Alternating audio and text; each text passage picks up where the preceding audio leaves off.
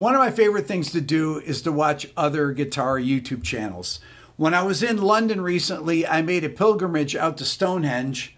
Actually, my wife and kids went to Stonehenge, and I went about 20 miles further and I got to interview Dan and Mick from that pedal show, which is a channel I love to watch and I've watched for years.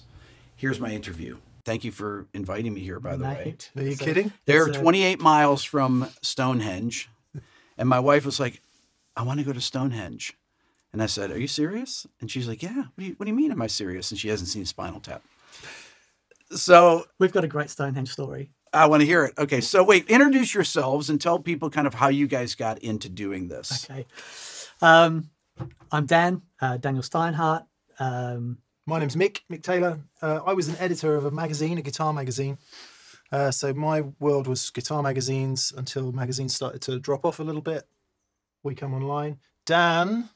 Uh, I own a company called The Gig Rig, and we've been making switching systems and power supplies and pedal boards for rock stars um, and all the lovely people. Mick and I have been good friends for a long time, and we were. We wanted to go into a room and make noise. Is the truth of the matter? Yeah, yeah, and and whenever whenever we got together, the conversation always ended up about gear. Yep. And it was I've you know I've I I love gear and I I love the potential that it provides. Mm-hmm. And we kind of clicked on this thing, and we're, we, you know, I think we'd been. I'd asked Mick to come on board to to give me a hand because I didn't know any stuff about business. I'm, you know, guitar player, and and we just talked about gear all the time. Okay. And Mick's like, well, let's just why don't we just film this? Because I've seen, um, I'd done a, a, few little videos before, but I was terrible at it. Then one day Mick showed me a video that he made, and it was beautiful, and the lighting and the sound. I'm just like, how do you even do that? and so we got in the cupboard uh, seven years ago and made our first uh, video. So did you think though that this was going to be a thing that you guys were going to be YouTubers? It's kind of strange, right? Yeah, yeah. I get you must talk to people who are slightly uncomfortable with the term because you never think of yourself as that, right? Even though that's what you are and that's that's that's the way it's evolved. But you know, Dan and I been in bands our whole lives. Dan, you know, makes this thing for lots of professional musicians. I'd been a magazine journalist, and it just kind of took flight. Mm-hmm. I mean, in the way that it took flight for you like that, it took flight for us kind of like that, yeah, a bit more gently. Um, but I, I, have to say, uh, you know, we must off the cap to Lee Anderton and Chappers, mm-hmm. um, to I don't know, I guess Mike Hermans, to Gearman Dude, to who else was around? Uh, Andy, Andy Demos. Demos. Andy Martin. Yeah, mm. because they were the trailblazers. yeah, the OGs. Yeah, yeah, absolutely. and they showed us they showed us that it was possible. Phil X. Yeah, yeah, Phil. Fred Americana. That's right. Those I, I was. I used to watch those videos religiously because he's amazing. He texted yeah. me this morning. Yeah, nice. Um, when done right, those videos, you could see the benefit mm. that they would have to players who wanted to understand. There was, I think, for me, there was a, so much misinformation um, floating around on gear forums and stuff. And when when someone puts a, across a piece of information eloquently and and succinctly on a YouTube video, man, it cuts through all that stuff. This is really interesting that you mentioned this. So Tim Pierce and Phil X are two of my dear friends. Tim okay? Pierce, and Tim was one of the. Pierce. So I watched both of those guys early yeah, on. Yeah, now, you make a great point about this, Dan. Is that in the past, I used to go on these gear forums. I won't say ones, but more mm-hmm. pro audio ones. I'm a mm-hmm. music producer, and you know, and you'd read stuff and you'd say, "Well, none of that's true. These people don't use this gear. These people that are talking about it have never used these pieces of gear. They're right. just basic, what I call repeaters." Sure. Yeah, yeah. But then with YouTube, when you're on YouTube, you actually hear the things, you see them. Mm-hmm. So you can make up your own mind sure. how you like the sound. If they're well recorded, you guys, this yeah. is what I love about what you do. And and on pro YouTube channels here that are doing professional audio recording of guitars, guitar sounds and things like that with real microphones placed properly, mic pre's and things like that. You can hear them yourself and Absolutely. make up your own informed decision mm-hmm. as to how things sound. And I think it's actually, well, it's kind of been to the detriment of those old forums yeah. that don't really have any meaning anymore because of YouTube, which I think is, gr- I think it's great yeah. because you, you really, really can experience things that you never would have gotten a chance to hear before, especially, you know, maybe pedals that are uh, out of date or something that Mm-hmm. aren't made anymore, or guitar guitar amps for me that I that I own.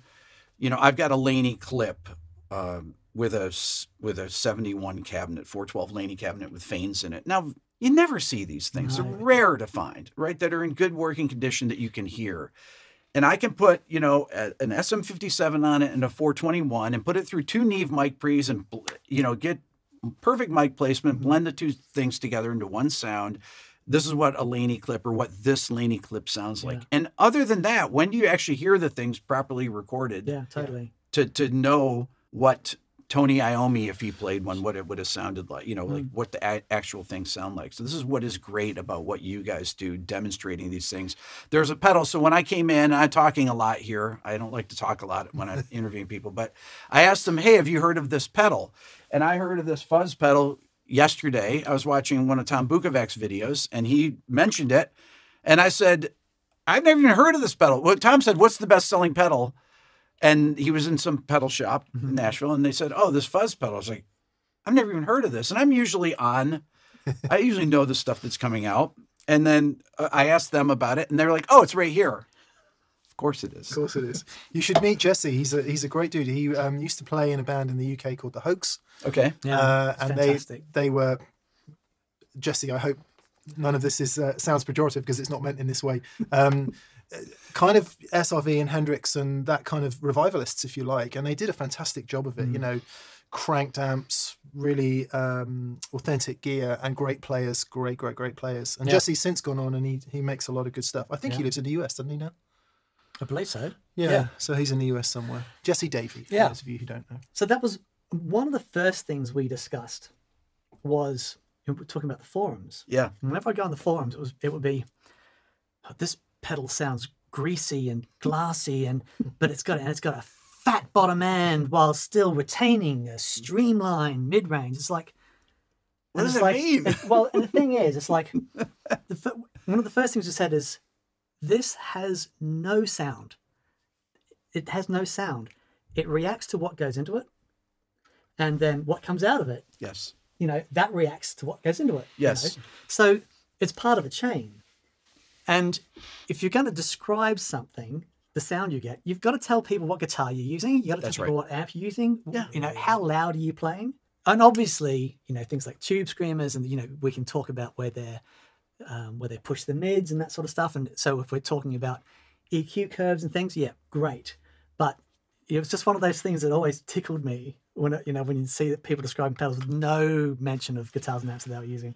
Yeah, we've done. I think we've done our share of that as well. We've been guilty of that, if, if guilty is the right word. But I still don't know what this pedal sounds like. okay, We'll- well, we'll we'll plug it in in a it in a sec if you want. But one thing we've become increasingly passionate about is this whole idea of better and worse and best, and just trying to put it over that if you like the sound and That's it right. makes you want to play Yeah.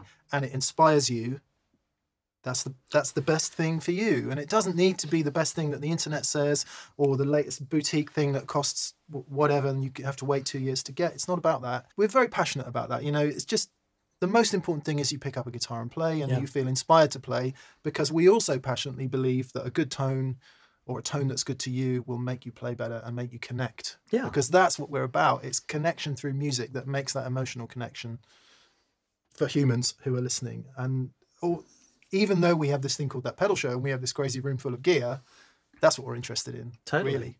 It, that that experience has been transformative for both of us. Yeah. You know, and I'm sure for you, you as well. There's the reason that we do this is because at some point, music lit something in us. You know, th- th- we we talk to people all the time. People who come to our experience days who've never plugged into a loud amp, never experienced what it's like just to go. And it, I changed my life when I was a kid. First time I plugged into the lab. it's incredible.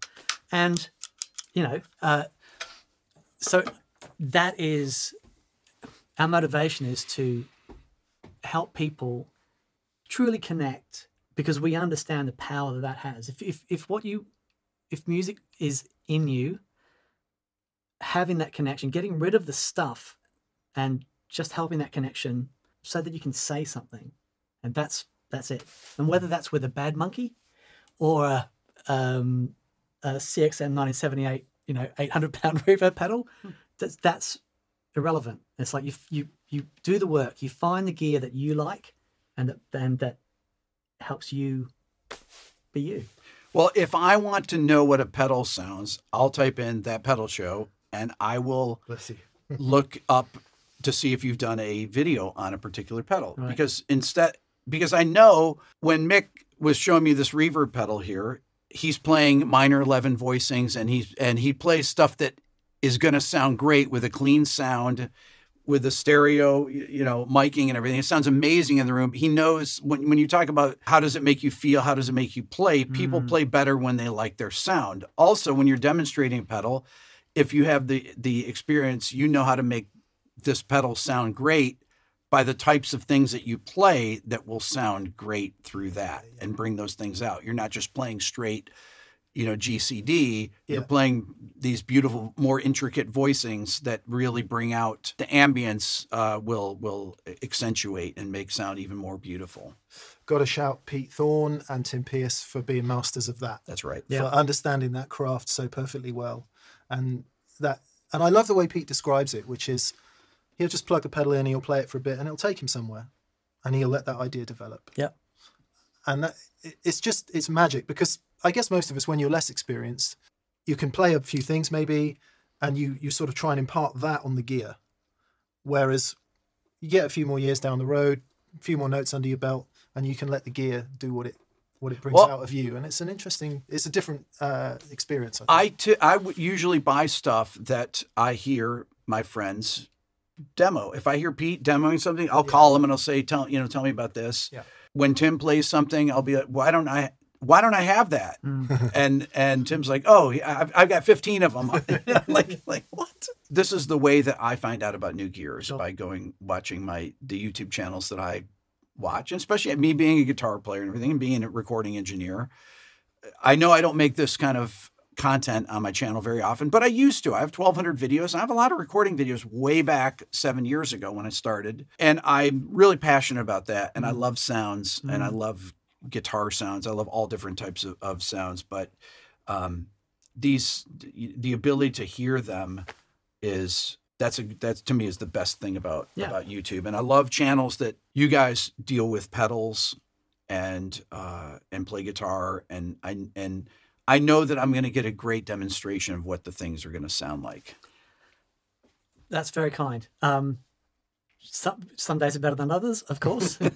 um, but you know, again, it's like none of that stuff. You know, if we get a new pedal in that we're excited to try, um, and there's and let's be honest, there's some absolutely amazing gear out there at the moment. Yes, uh, more than more than there ever has been. Oh, right? absolutely, yeah, on a scale, absolutely. yeah. so Yeah. we are spoilt for choice. you Yeah. know. It's funny that every now and then we will just take a step back and go, oh, haven't played the hotcake for a while. Let's just put that back on. Oh yeah, that's right. That thing is amazing. you know, uh, let you know. I'll pull out the old Space Echo every now and then and stick it in. It's like it still has something that nothing else has got Right. you know and i think it's important because i still we are surrounded by gear and pedals i i terrified to think how many pedals we actually have here but i still get excited about a new pedal turning up you know there's always been great gear and that excitement can actually certainly for me i'm a very excitable person it can in you mate it yeah. can in me. Um, and I, I get really fizzy about stuff. But I've got to give myself a few days and, and let that wear off and then come back to it, you know. Um, i'm the opposite i'll get a new pedal out. I hate this. And then a week later this is the best thing i've ever heard. But we we, we do one of we do uh, a thing called experience days here. So we'll get six uh, people in do it once a month. They come in spend the day and it might be someone who's never plugged in a loud amp I think you mentioned it earlier or ton, ton of stuff they may never have done before. But the first thing we do is we take that deluxe reverb and we plug in a les paul and we put it on three on five on seven and on ten and crank it. And anyone that wants to have a play can have a play and just say look for all of this that's probably what most of us are after most of the time. Right. Hmm.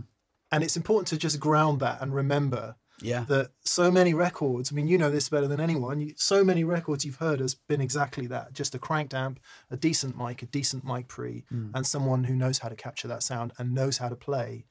That's that's where we start. You know, some of my favorite think questions that I've asked in interviews when I Peter Frampton's one of the first people I interviewed back in 2018, Mm-hmm. and I asked Peter about his rig back in the 70s, and and it was very complicated actually. Even though there were only a few yeah. pedals, Yeah. but Yeah.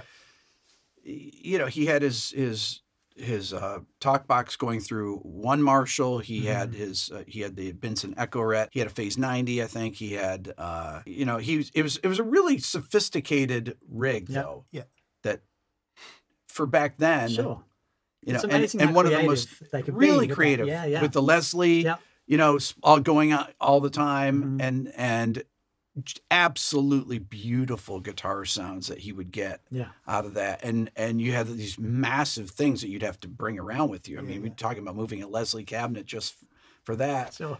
Just to be that creative and to go for those sounds like you know, and nowadays it's you have your choice of every anything and it's so easy to do, Yeah. really. Well, the tools are available, aren't they? And Yeah. stuff like um, the the routing options for signal paths, the uh, noise reduction, all that kind of stuff. Because he would have been taking something that had been crafted very carefully in a studio, presumably, Yeah. and trying to take that on the road at 200 watts or Yeah. 20,000 watts or Right. whatever. You know, th- this and and uh, things like it would have cost you hundred thousand dollars 25 years ago. That's right. To get that level of signal routing and all of Mm. that. So, and I do, I I've often I don't know if this ever comes up in your in your interviews, Rick, but having that level of choice gives us the option paralysis That's right. Yeah, yeah. and the idea sometimes can get lost in in that whereas that simple well let's see what we can do with a les paul and a deluxe reverb Yeah. somewhere in there has to be some happy ground uh, you know i don't need you know look at this board it's ridiculous this is this these boards are an experiment at the moment it's utterly ridiculous because you get lost in But this is the gr- the time that we live in now. Yeah, right. It's not just pedals, it's amplifiers, mm-hmm. it's microphones, it's mic Yeah, pre's. Everything's been miniaturized.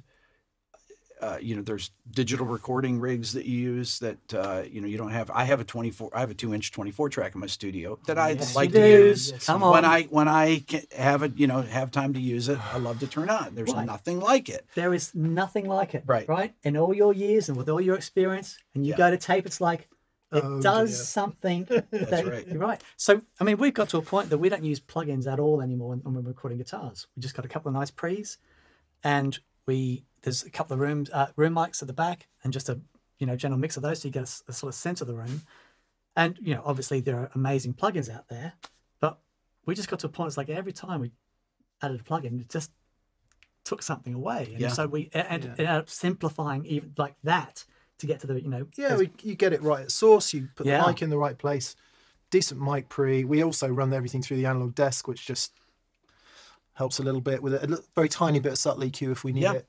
But no post. Um, I mean, you wouldn't do that if you were making a record, but to capture a guitar sound in a room, it's it's fine. Maybe I- you would do that if you were making a record. Well, it's interesting because I have all the digital, you know, I have the computer based modelers, I have the rack modelers and everything. But for me, the quickest way to get a sound is to just oh, turn on a, you know, like plug in an amp and put on put a mic or two on a cabinet and through some mic pre's and you're up and running in, in two minutes. Yeah. And if it's not the right sound, you're like, I'll pull that head off. Let's put this one. on. I just put stack them up in my control room. nice. And I've got usually we'll have four 412s if I'm using a, a head in the control room, and I'll put mics on all of them, and I can just switch out the the speaker cables from them, and, and you know go go between sounds in like one minute. Yeah. That's way faster than okay pushing buttons here and oh what if I do this? Oh, I'm going to go on this mic model, uh, microphone model, or that microphone model. It's like well. I have the real thing, so I'll just yeah. it's far Yeah. faster to do it or to tweak the pedals oh you know it's muddy in the front end i'll just put a little distortion pedal that'll high pass it before before i go in there and things like that these are all things that i've when i produced i produced mainly metal bands you know beginning in the in the late 90s because that's the music that was popular Right. even though i'm going to be 61 in a couple weeks then people will be coming in with lower and lower tuned guitars and extended range instruments and it's like well they you put those through distortion and you have to high pass them hmm. because the front end of the Yeah. amps it, they just just become super muddy Sure. To tighten the mid range and so I would start doing things where I'd either use an EQ before it or put a distortion pedal with with almost no gain on it and it would high pass the mm-hmm. guitar and then it would sa- it would would have the right kind of EQ curve on it going into the amp that would make it have a, a full sound and a, and a, and a nice tight mid range and stuff. A lot So of guys used to use a tube screamer for that, didn't they? And That's to- right. Yeah, Mm. yeah, Yeah. For that exact that's job. why they came up with the you know jubilees and things like that is to is for that reason. But the tube screamer was a very common thing Mm. to use in front of the amp to tighten up the tighten up the mid range. It was interesting. I did a, a video with Dave Friedman, and he said um, if you use lighter strings, because I use eights on my guitar. I mean, my guitars have different. Some might have nines, some have tens. I use thirteens on my acoustic. So, but he said, you know, lighter strings have less bass and will have Yeah. a tighter mid range. Mm-hmm. And he said you should make that video. So I was like, it's a great idea. So I did this thing where we went and we did 11s to 10s to Yeah, yeah. 9s to 8s and everything. And and it's true. He and because he said he goes Eddie Van Halen used Fender bullets, they uh, 9 through 40. Right. Right. So it's kind of like a hybrid. You figure uh, a 9 gauge goes to 42 an 8 gauge goes to 38. Mm-hmm. And then he's tuned down a half step or wherever he was tuned Yeah, yeah. and um and so his sound would be was tighter because of that. It was tighter than what it would have been if you used tens, 10 through 46, for example. And I was just like, ooh, that's great. That would be a great video. And that actually turned out to be a really cool video ideas to do that. But but knowing that to me though just finding those things out and just kind of doing those back to back ABs I think is fascinating. Yeah. they are. It's it's it's a big part of the the because it's called that pedal show, right? But what we're trying to get across is that all of those things do matter. Yeah.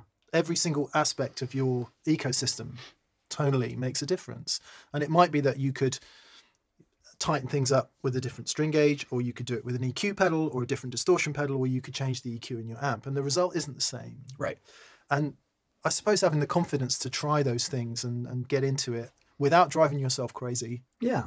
Well- because you, you two weeks in going i've got eight tube screamers here and i can't decide which one's best you know that's that's a dangerous place to be I But think. where do you go, guys? When you're, do you adjust the pedal first? Do you adjust the amp? Do you move the mic? Do you change the EQ on the mic pre? You know, it's it can be mm, anything really. Sure. Yeah sure. simplest thing first i would say so Yeah. my recording wise always mic Get the get the sound in the room first. Mm. yeah Get the mic placed right, things like that. But but play get the sound to where it inspires you. right? Absolutely. Yeah. 100%. That's what you were. That's what you guys are saying. 100%. exactly that and we, we you know dan and i we probably play a bit louder than we should in here and we're, we're, we're passionate fans of, of volume not for volume's sake but for the dynamic that it offers Yes. Yes. so you can get light and shade and you know it might only be 12 bars in the night where you're fully you know hammering but having that depth of uh, the, the access to volume just gives you dynamic from from the guitar Yeah. through the whole rig. Understanding that and that dynamic relationship and the way the speaker comes you know back through you back through the pickups creates all that extra harmonic information um, is something that I think is is lost in the in the silent and digital environment. And I think some people are forgetting it forgetting how inspiring it can be. Now Yeah, we get all the practicality arguments. Yep. And they're valid. I, I remember. When people didn't have money to pay roadies. yeah Yeah, totally. yeah my first car when I was, uh, I think I was 18, and it was a little um, little hatchback, and I was going down to buy my first 412, my first Marshall, and I'm like, okay, I, I can only buy this if it fits in the car, and you know, three door, I open the thing, I rip the back seat out. And I squeeze the 4x12 in and I get in and I'm on the steering wheel like this and I'm going, it fits! Brilliant! And i was away because i was because I'd, I'd heard it it's like i that's it. I have to have a 412 do you remember when you were young enough to carry a 412 up a flight of stairs Dan? down without serious injury? Yeah, no, no the mind's going as well. Um, yeah but that was i've never complained about loading gear. Yeah. you know because if there's it's like you know you, all the bands I used to go and see that were so inspiring and right we went and saw joe bonamassa at the royal albert hall Joe's got a lot of gear. Joe's got a lot of gear and he had and he hauls it everywhere doesn't was he? it everywhere he had three Dumbles not just his gear by the way but the, the PA and everything like the whole rig Yeah, yeah. Yeah. The three Dumbles, uh, two tweeds uh, was it t- two two tweeds, silver two- jubilees yeah. with a 412 EV and a ro- rotating speaker yeah, and extra. You know, that's all behind extra foldback just for the guitar. you guitar. did say as well. three Dumbles Three Dumbles. Yeah. three Dumbles, and he was 116 dB on stage. Okay. Right now, I was sat. He was very generous and gave us really great seats right in front, Royal Albert Hall. And I was a little nervous, thinking because we were on stage to sound check and it was powerful. Yeah. at no point was it unpleasant. to listen to. I mean, um, far from it. It was incredible. But what that volume enabled him to do, I never forget it. There's one one solo in the, in the night, the band stopped, and he basically had the volume rolled off in his guitar, Yeah. and you could hear him acoustically throughout the the whole of the Royal Albert Hall, Yeah. and everyone is gripped. Then for the next ten minutes, he starts to build and build because he's got somewhere to go. And at the end of the 10 minutes, the whole crowd is on their feet, you know, and just, it was just the most extraordinary thing. And that's what that volume gave him. It gave him the potential to just build and lift this thing up to this incredible crescendo. But at no point was anyone going, yeah, that's great, Joe. It's a little bit loud. It was just, it was Yeah, because he knows how to handle it. yeah, totally. He knows how to build that dynamic in, that light and shade by using that volume. It's not just about, okay, here we go, and trying to t- rip everyone's heads off. It's interesting when I when I uh, interviewed Pat Metheny, he's he talked about he never plays, and which is true. You can tell he never plays two notes the same dynamic back to back. Never does. Al Di Meola, and when you know Al's playing, and Al's so rhythmic and so dynamic with his playing. You know, this just without even doing anything with the sound, just playing on the guitar, and and uh, and so many guys would use their volume control and back back it off so it's not quite hitting the hitting the amp as hard. And that's like a big thing not running your you know, people ask me rick are you do you have your volume on full all the time? I said no i change my volume all Yeah, the time depending on you know and you got to play with dynamics so that it you actually build an intensity and, and it makes the amps re- react differently. Yeah. When uh, the the thing about the guitar is, um, when I was my old guitar teacher, um, he put together this like a four-piece jazz ensemble, and we'd we'd play pieces, and it was like when you hear the horn section do it, and they were so bang and so dynamic, and the guitars tended to be really flat, you know, sort of lacking that. It's like actually hearing the way a horn player approaches this, and and you, and you hear it in so many in Robben Ford, and you hear it in so many amazing dynamic guitar players' language, how they've taken that dynamic approach from horn players. you Yeah. know. Um, yeah. I think it's the result as well of, of the time of having to play loud because there was a time where there was no alternatives. True. yeah No, true you, you had to play loud, and that because brings, the PA systems weren't uh, it, they they just didn't have the power to to uh, I mean think about the Beatles when they Yeah. they couldn't be heard that's why they stopped playing. Yeah. Okay, if I were to say to you guys now this is- you're gonna hate this question, but what's your minimum things that you would put on a pedal board, and what would they be right now today? It's usually okay, it's usually Yep. at least two gain pedals. okay, One that's more gainy, Yep. one that's less gainy, and put the less gainy one after the more gainy one, so that you've got a boost. You've got somewhere to go. yep, And for the more gainy one, we'd probably choose something that didn't have a radical EQ shape. Mm. So something that was just a good distortion. What might that be? Oh god, there are so many overdrive pedals, or or maybe even a fuzz. But a fuzz is kind of extreme. That's maybe that's for later down the line. yeah, But just a good all-round distortion pedal, and then a decent cleaner overdrive. So my favorite combination personally would be a Klon type in that second position Yep. because it's got a great EQ shape as a boost. Yep. And you can it's got loads of headroom. Um, and the first would be something that emulates just a good fat tube overdrive. So Right. I don't know. Oh god, we've got so many. So that would be the overdrive section. Yep. And then down the line you can add to that. I'll do my overdrive section. I would, because I play tellies uh, into Matchlesses and voxes and, and things, um, I would tend to go with something flatter like a Keeley modded blues driver or a uh, Lightspeed by Greer. light speed. Yep, something like that. Something that that isn't doesn't radically change. Even an ODR one actually, because you can set Yeah. that to be slightly flatter. The Yeah. Nobels. Oh, yeah, one's yeah, great. Yeah. And then something like a, a tube boost, something like a, a Kingsley Page. That's been on my board forever and just is a phenomenal thing.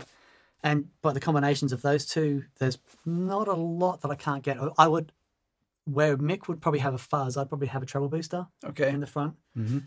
just because more treble is better. Yeah, Dan tends Dan tends to like um, AC type amps that are a bit more pushed. yeah, So if you hit that with too much full frequency, it can get mushy. Exactly flowy, what yeah. you were right. just saying That's about right. the You yeah, it depends on what amplifier. If you're playing through a Fender style amp that has more of a scoop mid range versus a Vox style Yeah. that has a more uh, focused, uh, pointed mid range, you're going to do something different before the amp. yeah. Yeah. Whereas I tend to like the big headroom, more powerful 100 watt type amps, and you can do anything. That's why I, I have some people are like, why do you have so many 100 watt amps? It's like because you have a lot more Yeah. variation with them. Yeah. really. I mean, I have plenty of combos that are not in my shot and everything, but you see many 100 watt amplifiers in my. Just in my something studio. about that big transformer that Yeah. just seems to give. And then we'd go what uh, modulation, delay, Mm-hmm. and maybe reverb if the amp doesn't have it.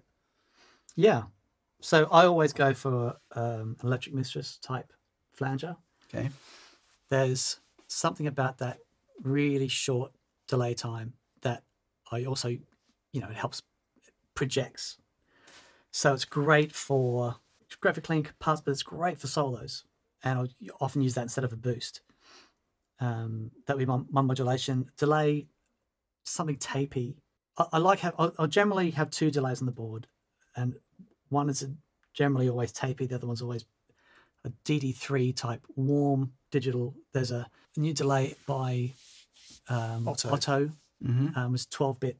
Um, Yeah, it's a lower bit sample sample rate, The- and that's the thing about these older delay pedals. Mm-hmm. I have the the original Boss or original, but the sample delay, the silver one, really DS, old one. D, D, DS2. Yes. That's one of here. Yeah, and it's it's beautiful sound. It's It's, a lower bit rate.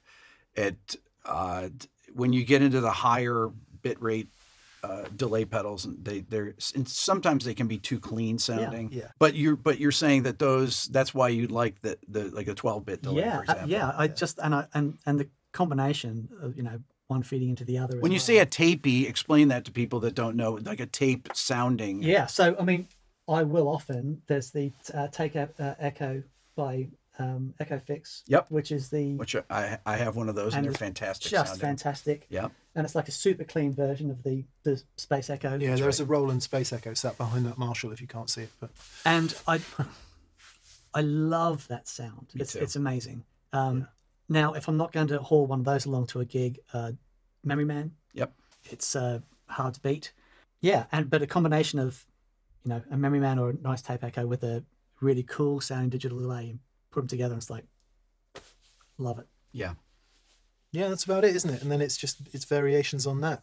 We both massive fans of tremolo, hmm either in Love harmonic tremolo. or amplitude form, amplitude form. With two two overdrives, a delay, so you could either do like a short doubling delay or a slapback or something longer. Yeah, something wobbly. We, we call modulation pedals pedals wobbly pedals. Something that wobbles. Um, y- you can, you know, I think you can cover most most things. yeah, And then once you get up to this kind of level, it's just more of that. So it's just more gain stages, more wobbly, more delay, more reverb. yeah. Uh, there is a ring modulator down there as well, which is a some folly that's happening at the moment. You know, I find uh, when I plug in some of my old pedals in, in the studio, if I I have a MXR flanger, I'm from Rochester, and I was, I Yeah. was, uh, was No way. and MXR was based there, and and so everybody had the distortion plus, and they had the the the um the flanger and the and the uh, phase 90 and but the flanger that was the first pedal i ever bought mxr flanger back in 78 i heard van Right. halen i was like i'm buying this flanger i still have it and, it's, and it can be noisy you know it's an Yeah. older pedal Yeah. but it's there's- powered. yeah, Yeah. you're right. It's hardwired, just like my Memory Man, which is har- has hardwire. Yeah, that's 30 years old or whatever. I don't know how old it is. These pedals that can be noisy, that that had the original, you know, what do you call this when they have the power cable coming out of those? Old, uh, but but uh, th- things that I might not use in a live rig because it's just too much unless you have some type of switching gating system or or you know digital switcher that I wouldn't use. I'd play. I'd use something cleaner. Mm-hmm. I mean, when I just did the show here in London, I brought three pedals. I mean, I've got all these things. I was like, okay, I had bought a Klon, Klon type pedal, and I had a. Uh, I was going into AC30, and I had a just a DD, the, the Boss DDL3 or but I think that's what I can't can't remember. Mike, what was it that I used? DD3. DD3. Yeah, probably a DD3. Yeah. And uh, and that was it. I Mm-hmm. had tuner and those three. It's like that, that into an AC30. You get the sound of the AC30. You need to push it a little bit Yeah, beautiful. and put a 57 in front of it. And that's pretty much all you like. For me, if I'm traveling, that's my little pedal board. Put it in the suitcase, and that's it. Great. So Happy days. Happy days. yeah, yeah. We're all for not that it would look like it, but we are all for simplification. Yeah. You know. So, for example, now these are very flashy, boutique, expensive versions of what I'm talking about, but this could be a Boss BD2 Blues driver. This could be a Klon type. Yep. So they're wired up on this true bypass switcher. Again, don't worry about that. Just if the light's on, the pedal's on. Okay. So without any overdrive.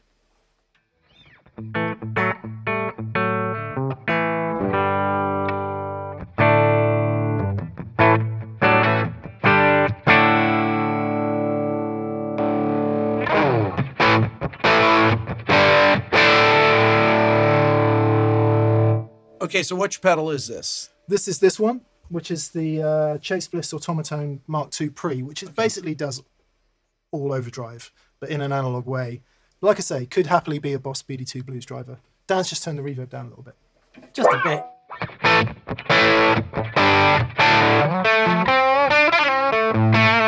Beautiful. That sounds great. Nice, Nice long reverb Basic. there too. yeah, yeah nice basic. And if Dan, part of the way through playing, you'll turn on the juggler, which is currently set up just to be um, like a cleaner boost kind of thing, and you'll hear it get louder. And this would be if you're going from a like a rhythm sort of situation to having to play a solo, maybe.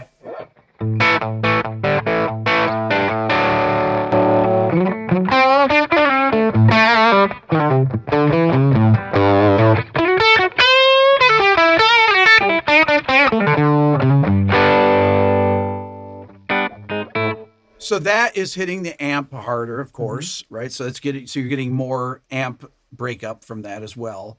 I mean, it's adding the character of the pedal, but also when you're ch- chaining the two, uh, cascading from one pedal to the next into that. the ecosystem. So the amp's just on the edge. So yeah, you get a little extra harmonics. The amp goes into a little overdrive as well. And it's kind of interesting around that whole pedal distortion versus amp distortion. And our answer is all the distortion. Oh, yeah, yeah. You know, you want All it. everything harmonically Yeah. working together. And they don't work the same. The amp distortion would never be exactly what the pedals into the amp would be. They just they just don't work together because that is adding EQ. It's adding a, a certain gain structure to it. It's pushing the amp in a different way Yeah. because it's getting more input Yeah. into it. the front end of the amp. Yeah. So And maybe I'll just get Dan to play for a sec. Do you want to play this or you telly? Oh, grab the telly.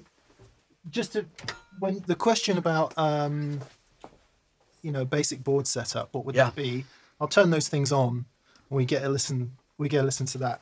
So what i'll be turning on is a little bit of overdrive. We'll be using delay from here. Hmm. We'll be using reverb from the cxm and we'll be using harmonic tremolo from one of these.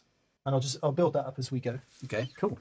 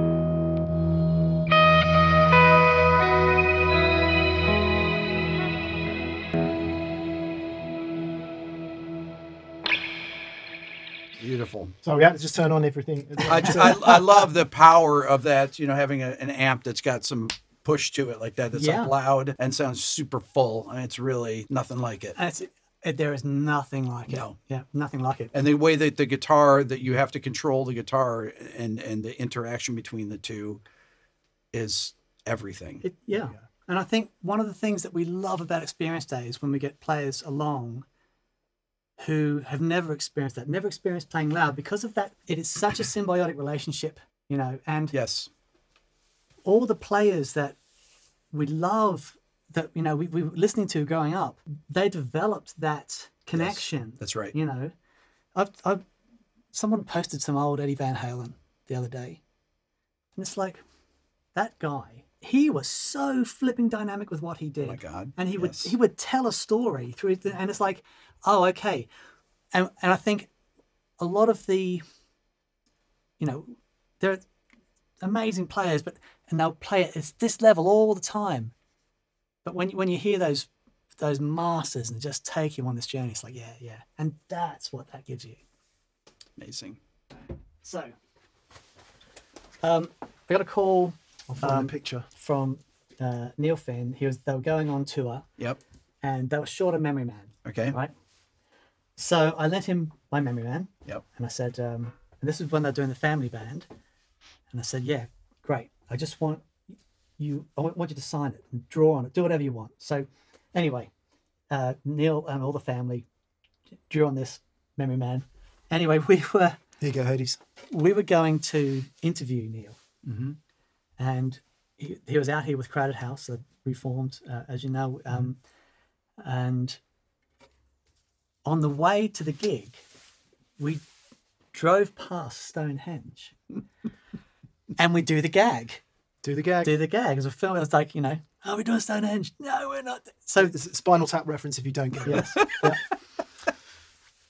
So we went and interviewed Neil, and it was wonderful. Magic. Just He's awesome. Oh man, he's so great, and he's Yes. like he's my favorite musician. You know, he's a massive hero of mine. He's been very, very kind and generous with his time, and they're just the whole family, just beautiful people. Anyway, we've done the interview. We're sitting in a restaurant uh, in Camden, Mhm. and my wife goes, "That's David St. Hubbins." Hang on, as it's walking past, and it's like, "No, it was Michael McKean." It was actually past Michael. McKean walked past us. So we went. No So way. we, we chased him. no way. chased- We chased him out of the We'll, out of the we'll restaurant. put we'll put the photo Wait, in no. now. yeah, yeah. Yes. I'll send you Come the photo. Oh you my can put it in God. The video. Yeah, yeah. yeah, yeah. But And, he was- uh, there. He is. Yeah, just And we did the same. beautiful human. and as we said, look, we, we're massive fans, and we, we, we quote. This It was it's crazy. It's impossible. So- Yeah, and yeah, we yeah. quote we, we quote Spinal Tap references every day, and he goes, "And I don't get a penny." oh, it was just wonderful. So there we go. Yeah. My God. Well, guys, this has been incredible. Oh, Um, mate, thank you so much. It's been a Thank you so much for coming here. It's Yeah. a big, it's a Oh, big it's- deal to us. yeah. It's it uh, really it's appreciate been, been my my pleasure. Thank you so much for inviting me. This is really really great. That was always welcome. I will never forget that story. That's fantastic. Thanks, guys.